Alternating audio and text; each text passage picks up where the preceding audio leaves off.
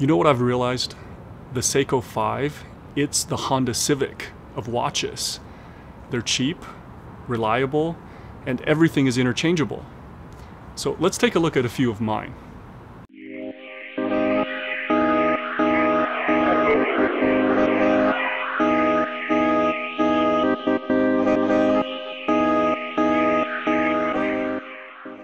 Hey guys, I'm Max and welcome back to Haute Ones. So sometimes you want to spice up the look of your watch, or maybe you have some custom creation in mind. In either case, we turn to watch modding to scratch that itch. Now, I know it can be intimidating to crack into the case of a watch, but I think as long as you're not taking apart the movement, most things can be done with simple hand tools. I started by changing a bezel or some hands, and eventually I am now finding myself shaving down dials and trying to blue my own hands with a torch. Anyhow, the rabbit hole goes only as deep as you're comfortable with, and today I'm going to show you three Seiko 5 based creations of my own. The parts and tools used for these watches are going to be listed in the description below.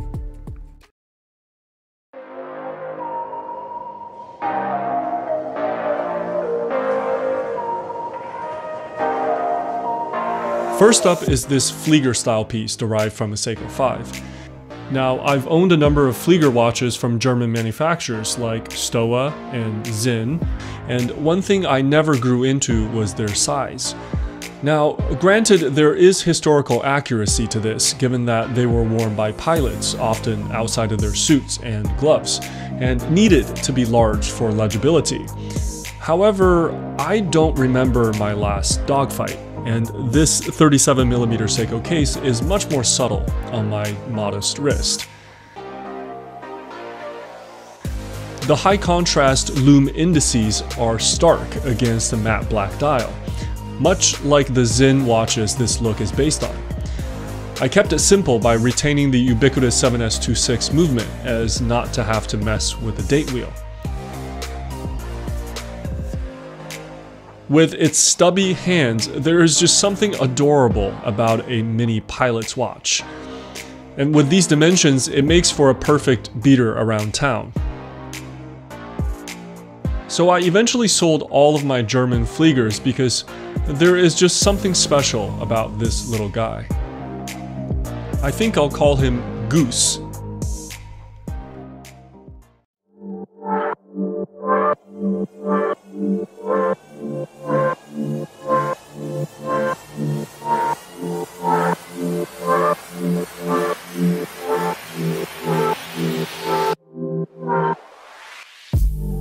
Here we have a tale of resurrection. The story behind this alpinist dial was that it was salvaged from a broken watch. A couple of millimeters were shaved off from its circumference to fit it into the Seiko SNK L09 case. It retains what we love most about the Green Alpinist, which was its radiant sunburst dial providing the backdrop for those glowing gold markers.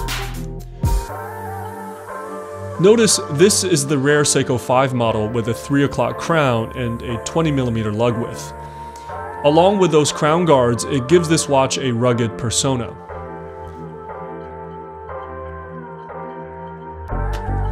A slightly domed sapphire crystal and a hacking NH35 movement finished off the package and a leather NATO brings out all kinds of delicious earth tones.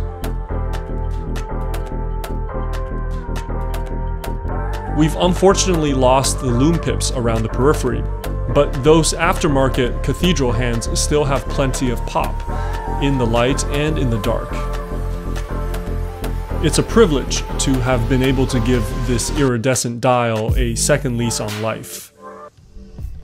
Okay, before we look at the last watch, I just want to say how much fun it has been to share this hobby with you guys.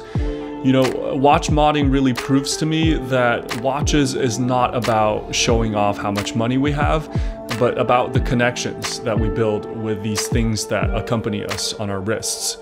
And with that said, if you like videos like this, I encourage you to scroll down and hit the subscribe button. It'll just take one second, you can do it while you watch this. Uh, it'll help us out and you'll get a reminder next time a video drops. Okay, getting back to the watches. So with this last one, I have to warn you, I get a little bit, how would you say, uh, unorthodox.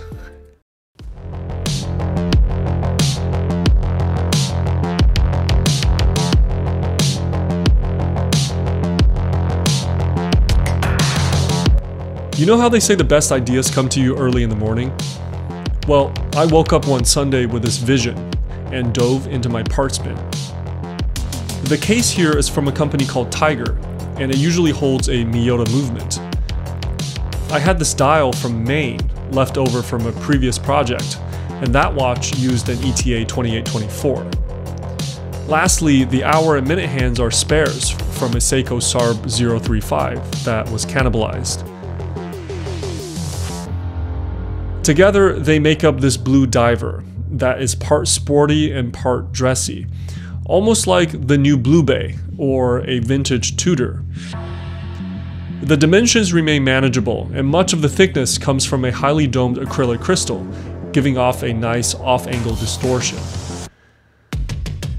The dial was too large for the case, requiring a bit of Dremel work.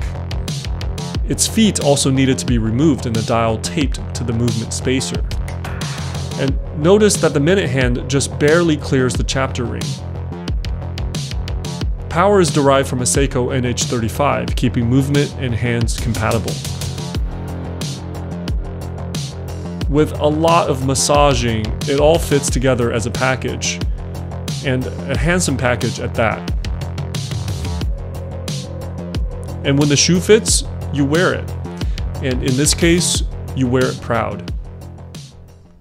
Okay, well, I hope you enjoyed my latest creations. I have to say, it's such a great feeling to be wearing a one-of-a-kind watch that you built yourself.